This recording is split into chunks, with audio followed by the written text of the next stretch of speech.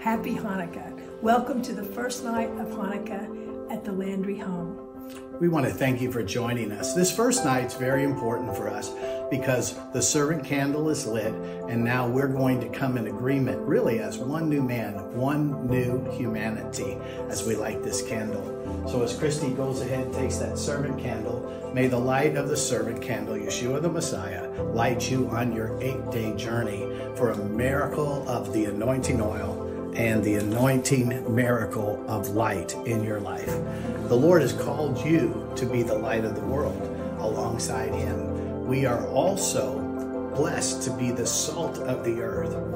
May the preservation of your life bring light to this earth to preserve it for the next legacy of the kingdom to come.